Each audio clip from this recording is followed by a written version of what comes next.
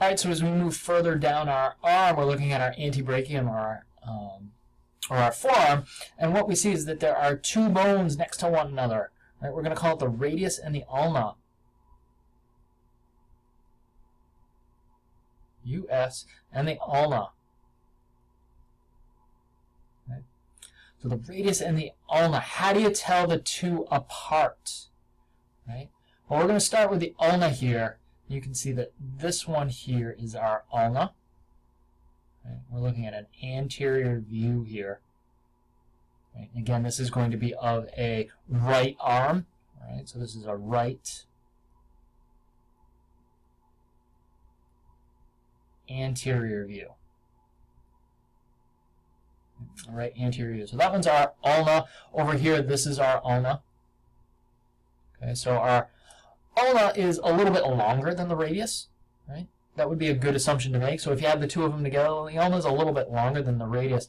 Um, one thing that you can't see here, uh, which is a good way to help identify, uh, I think that the ulna kind of looks like a crescent wrench. Right?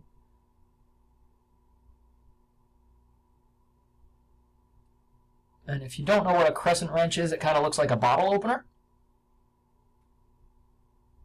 There we go. Um, so if you look at this end of it here, right, kind of looks like a wrench or an, uh, a bottle opener. Um, but what I, you can also notice is that it looks like the letter U. Right? You can see the letter U right here. U for ulna. Okay? The ulna is the one bone. Remember when I was talking about the humerus, I said generally the proximal end of a bone is the uh, where you're going to find the head of a bone. Well, the ulna is the exception to the rule. This end down here is actually going to be the head, and that is the inferior side of the ulna. Right? So the head of the ulna, that's what this little piece right here is. This is the head. Okay, the head of the ulna. Uh, the little blip at the end of the ulna there is this little bump right here and this little bump right here right? This is the styloid process. The styloid process of the ulna. And remember when we were talking about the skull, we mentioned the styloid process right up here by the mastoid process. Right? It looks like the end of a pen or a pencil. Right? So the head and the styloid process are going to be at the distal end of our ulna. Right? So if you look at the proximal end, you can see the big letter U. Right? The distal end, you see the head and the styloid process of the ulna. What are some of the other parts that we can identify on our ulna? Well, this part right here, right, this bump, right, we're talking about this bump right here, right, the point of our elbow, right, so if I show you, there it is, everything's backwards, uh, the point of our elbow, right, we call that the olecranon process. The olecranon process. And so that's the bump the end of your elbow. Right? Then you can see this little cutout section, which is what makes the letter U. And that's what they're talking about with this bump right here, this, uh, uh, this line going right here. We call it the trochlear notch.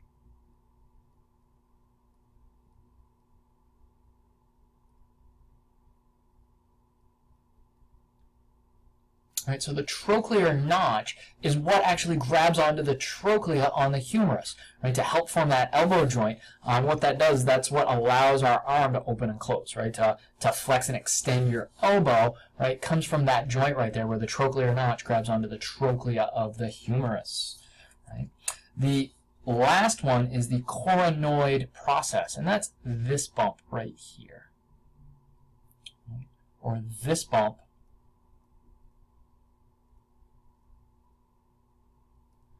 coronoid process.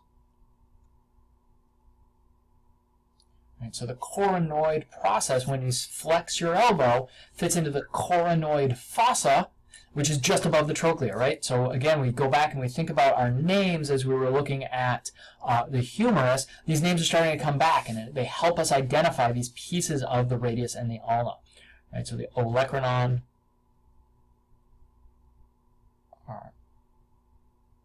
olecranon process, trochlear notch, coronoid process. Okay. Uh, then we go down to the distal end and you had the head and the styloid. The head and the styloid process. I think those are all the big pieces that I have you guys actually identify on the uh, ulna. Actually, there's one more, right? And that one last piece is where the head of the radius is actually going to attach and where the head of the ulna will go in. But uh, the head of the radius attaches. So let's do this. There it is. Um, so here's a picture of the bone itself. And again, this is the anterior side. And you're looking at a right uh, arm or right ulna. Right? Here is the olecranon process at the top, the coronoid process, and in between is the trochlear notch. This little smooth area or lighter colored area on this piece here right, is the radial fossa. The radial fossa.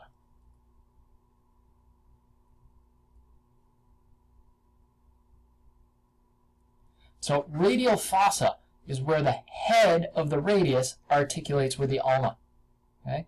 So makes a little, it's a little bit weird. We're saying it's the radial something, but we're on the ulna, right? So the radial fossa is where the head of the radius is actually going to articulate. So as you're trying to put these two bones together, right, you know that you should put the head of the radius in the radial fossa. And that's found just to uh, the side of the coronoid process. Okay. So that should do it for our ulna. Uh, the next piece is our radius, and we can actually look at the radius from this side as well um, starting at the superior end, right, of the superior epiphysis, proximal epiphysis, this is the head of the radius. Right? For the most part, the head of a bone is the more proximal end. Right? So that makes sense here. After we have the head, there's a constriction point. So we call it the neck. Then there's a really big bump right here. Right? We call it the radial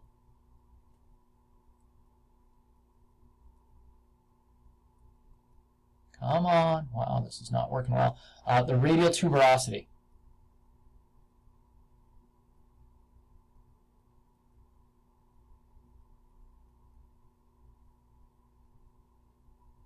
The radial tuberosity. The radial tuberosity is where our biceps actually insert. So you think about your biceps brachii uh, on the anterior side of your humerus, comes down and crosses our elbow joint and attaches to our radius. So when you contract your biceps, it's pulling on that portion, that radial tuberosity. It's pulling on the radius and making our arm flex, right? Making our elbow flex is the better term for that. So that's our radial tuberosity. Right? They name a few other things off on the radius here. I'm not really worried about that. Uh, but as we come down, we have got down at this end another styloid process. We call it the styloid of the radius.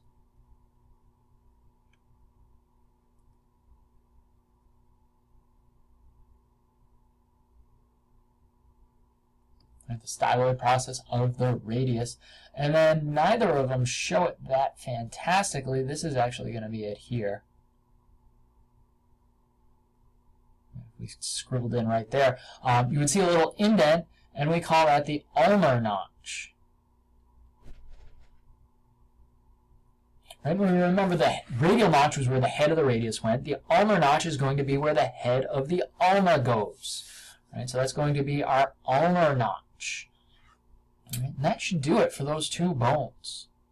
Right, so we've gone through our pectoral girdle, we've done the humerus, the radius, and the ulna. Our next video is going to cover the wrist and the hand, and even though um, these have taken quite a long time to do, the wrist and the hand are not going to take a whole lot of time at all. So we'll jump into that next.